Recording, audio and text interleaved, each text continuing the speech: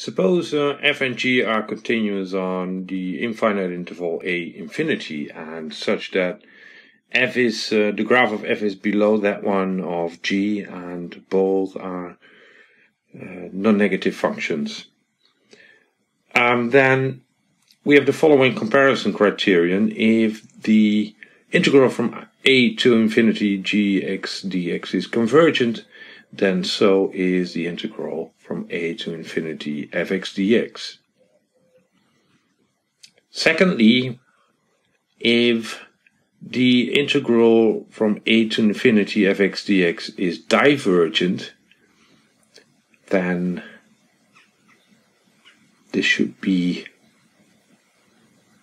this integral should have value infinity and it pushes away the integral from a to infinity gx dx. So the integral from a to infinity gx dx is infin infinite as well in that case.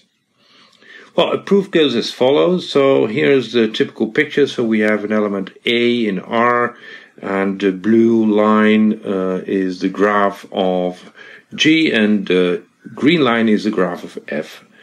So suppose we take an arbitrary value t, then the integral from a to t fx dx is of course smaller or equal than the integral from a to t gx dx.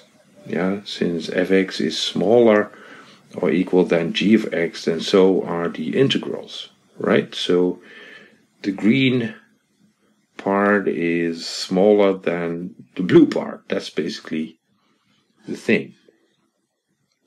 If we look at the first case, if uh, if the integral from a to infinity g of x dx is convergent, then we know that the integral from a to t to arbitrary t gx dx is smaller than the inter interval from a to infinity over gx dx. Yeah, since uh, g is positive, non-negative on t infinity, then it adds a positive a non-negative amount.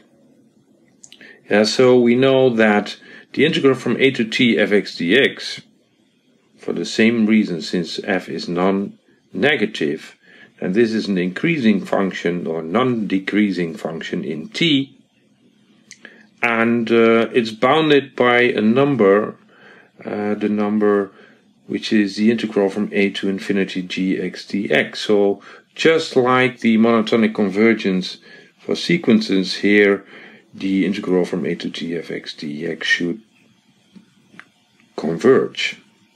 Yeah, so it's increasing but bounded, so there should be a value where it's running into. Okay, suppose, secondly, that the integral a to infinity of x dx diverges. I already stated that in that case, it can only be that uh, the integral is unbounded or that it's infinity. But since the integral from a to t g of x is always larger or equal than the integral from a to t fx dx, then so should be the limit. So then also the integral from a to infinity gx dx is infinity. In the coming clips, I will show you some, some fine examples, uh, applications in statistics and also